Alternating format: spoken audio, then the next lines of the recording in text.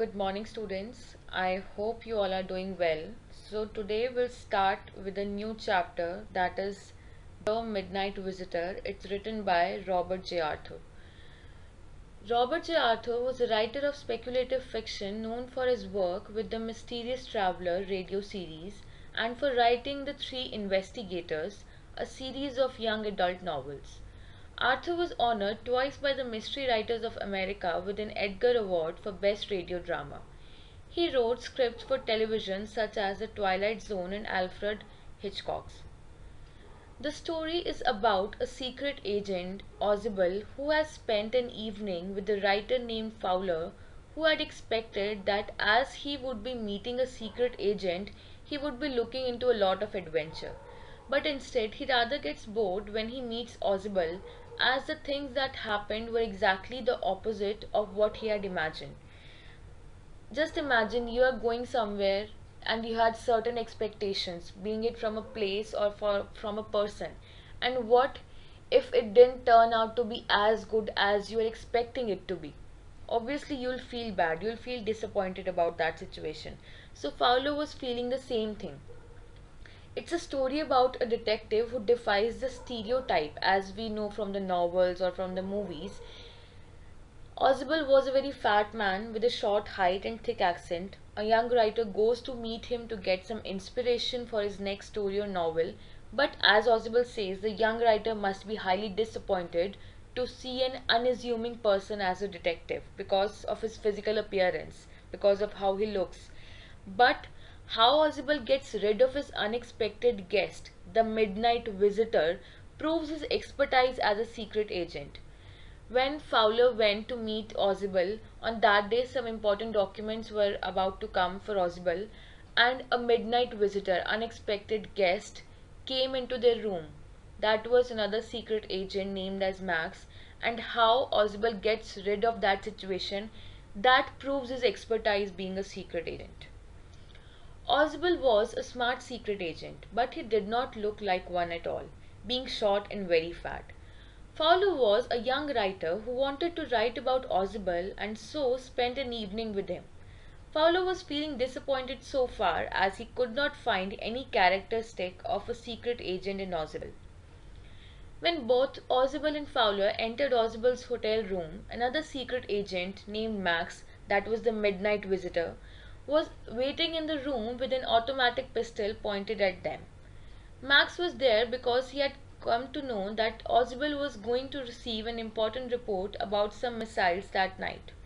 Max threatened to shoot if Ausable tried to act smart. To ensure the report's safety as well as his own and the writer's safety, Ausable invented a story about anybody entering his room easily through a balcony just below the window in his room Actually, there was no balcony. If anybody climbed out from the window, he would fall to his death as the room was on the sixth floor. However, Max told them that he had entered the room through the door using a Suddenly there was a knocking on the door and Ausable pretended that it was the local police who had been asked to provide him extra security for the important document he was about to receive. When the knocking was repeated, Max became angry at Ausable and decided to wait in the balcony, which he thought existed until the police went away. So Ausable uses his quick mind, his wittiness, and makes a story of a non-existent balcony and the policeman.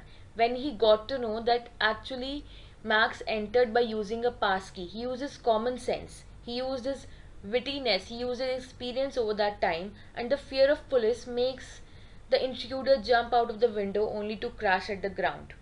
He stepped out of the window and fell to his death. When the door opened, a waiter came in with the drinks which Ausable had ordered to be delivered to his room when he had returned to the hotel.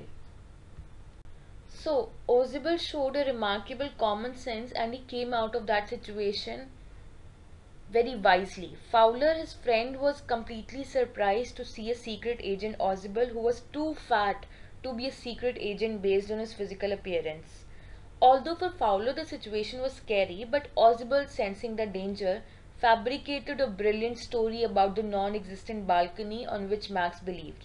Ausable again befooled Max by saying that the police were knocking at the door and Max wanted to run away to avoid the police, jumps to his death into that virtual balcony.